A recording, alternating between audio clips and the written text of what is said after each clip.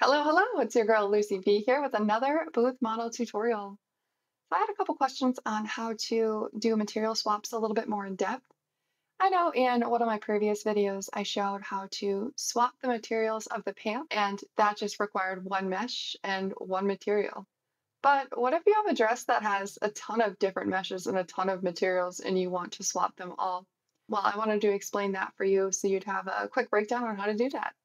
So let's just jump right into the video. So here we are back at the original custom booth model video. And as you can see here, the dress is blue and black, and we made the hair blue and black to match the dress. Let's go ahead and go to the materials here. And look, there's all of these different colors here. So what if I want the option to switch between all of these different colors? Well, I'll show you how to do that today. So it seems overwhelming at first because it is a little bit more complicated and a little bit more in depth. However, don't worry, we'll get through it. It's simple once you know the process. So let's go to the Phantom Venus first things first and create a toggle. So we'll do toggle VRC Fury. I like to copy the same menu path so we know where we're going in the menu. And then I'm going to do outfit color as the menu name. Same thing as before, do options, use slider radial, save between worlds, add action, flipbook builder, and then page one, material swap. Now we could go through and create a material swap for all of these colors here, but I think I'm gonna just stick with three because three times the amount of meshes are on here is going to be, uh, I think, enough for the video today. So let's say the first thing is going to be the blue and black, obviously. And then we could do the green and black too. Let's see how that looks. Um, oh, okay. Let's do the red and black actually, and then the white and blue. So let's go back to the toggle. And then we need to swap all of these items here.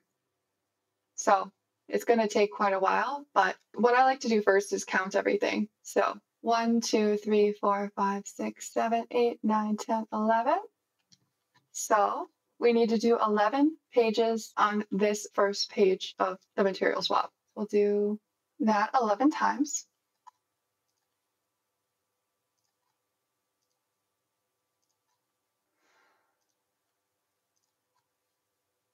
All right, I think that's 11 times.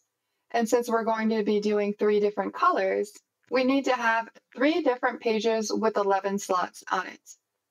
I know it's a lot, but it'll make more sense the farther that we go along. And the more times you do this, it'll be super quick. So let's make page two. This one is going to be for the blue. Page one is always going to be for the default color that they're wearing now. And then page two will be your second color, and page three will be your third color. So let's do 11 different material slots for the next color. So always, instead of adding it to page one, go down to this plus sign to make a page two.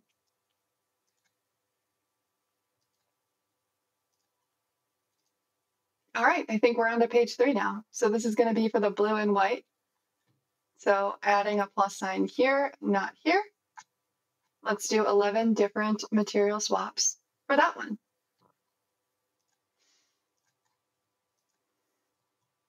All right, I think we're good to go.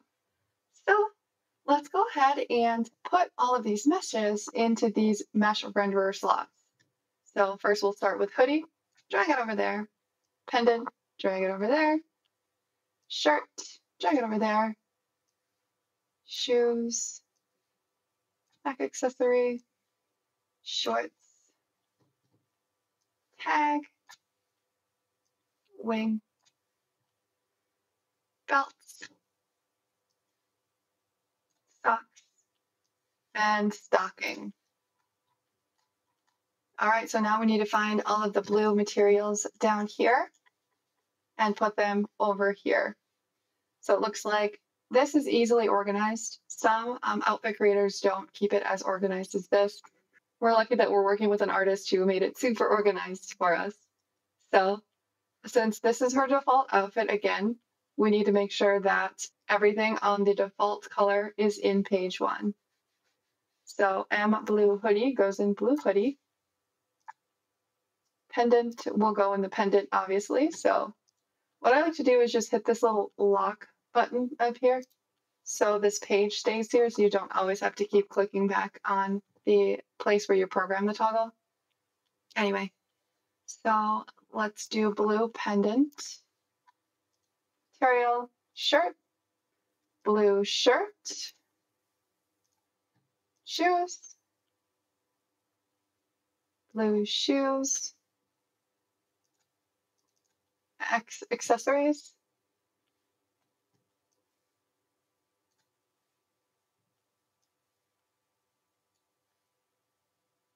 So this is X accessories, and this is called X accessories shorts, X accessories neck, X accessories tag. So we'll just put that there. X accessories wing. And then this is X bottom belts. So we'll do X bottom belts. X bottom socks, X bottom stocking. All right, perfect. So you staying with me here? We animated the very first page of everything to be blue. So let's do the same thing with the red. So page two, now we need to do the same thing. We need to drag every single mesh that needs to change into every single mesh that needs to change here. So let's go ahead and do that.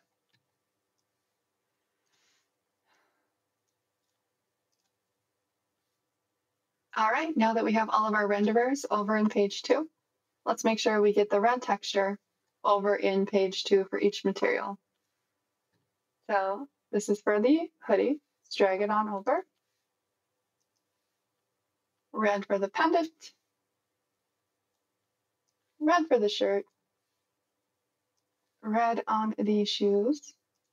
And red on all the X accessories.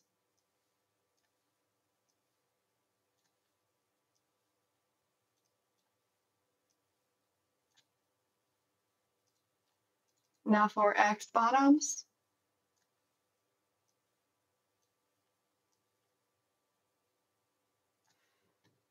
Perfect. Now we're almost done. We need to do the same exact thing for the blue and white texture. So let's do the same thing we just did, but with the new texture.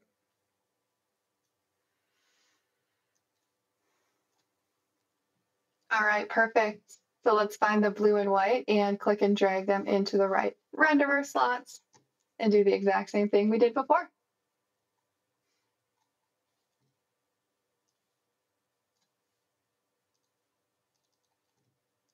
All right, you've done it. Now you've animated material swap to switch every part of the dress instead of just one part like the jeans before. So let's open up Gesture Manager and test to see if our work paid off. I know I mentioned it in a previous video, but make sure that you have VRC Fury installed to your VCC, along with Gesture Manager, Modular Avatar, or any other plugin that you may need to your VCC. If you don't already know how to do that, feel free to reach out in the comments or watch some of my other videos. I feel like I do a good job explaining it there. This is just sort of a part two to how to do toggles and material swaps and shows you a little bit more in depth about how to do textures. All right, let's test out our toggle and see if it works.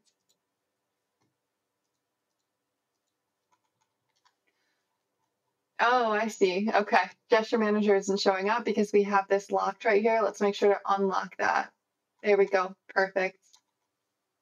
I like to make this bigger so we can see expressions, custom, Phantom Venus, and then we have outfit color. Perfect. Oh my goodness, they changed the color and everything. I love it. And then we'll keep changing it. And now I can change the color of everything depending on how I want the outfit to look that day, instead of just changing the color of one thing.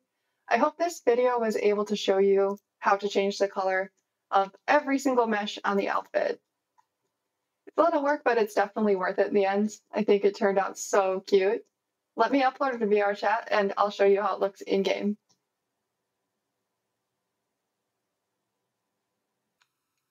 All right, here we are in VR chat. Let's test out the material swaps and see if they worked for every single item on her. Let's go to Expressions, Custom, Phantom Venus, Outfit Color. It looks like we missed a halo, but that's okay. We can easily go in and add that. And then let's do the white. Perfect. All items are changing color by programming each of them into each page of the material swap menu. Now we can change the color to any outfit that we want depending on our mood.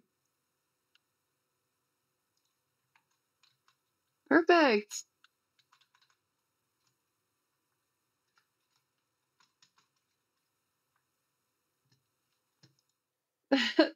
She's so cute.